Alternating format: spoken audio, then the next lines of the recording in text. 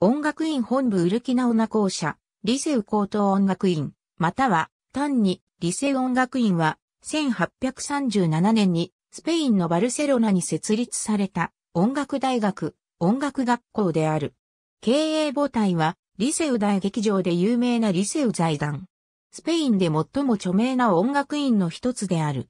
リセウという表記は学校の所在するカタルーニャ自治州の公用語であるカタルーニャ語の名称をもとにしている。スペイン語ではリセオとなり、コンセルバトーリをスペリオルでムジカレルリシオと表記する。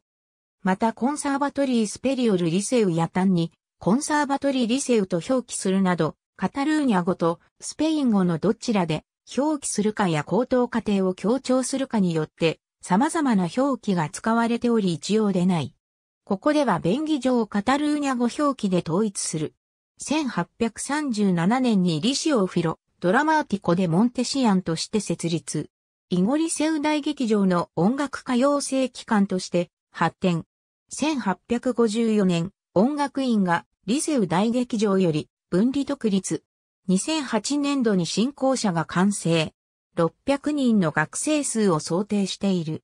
もともと歌劇場付設の養成所に期限を持つため、声楽に強みを持っており、著名な声楽家を多数輩出している。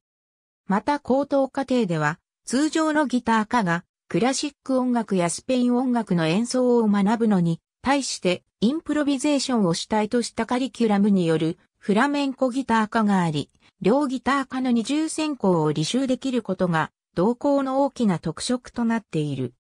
また、高等課程でのジャズ専攻とは別のプログラムによる音楽学校も同音楽院グループに所属しており、こちらのプログラムではアメリカのバークリー音楽大学との単位互換制度を利用した編入学が可能である。ありがとうございます。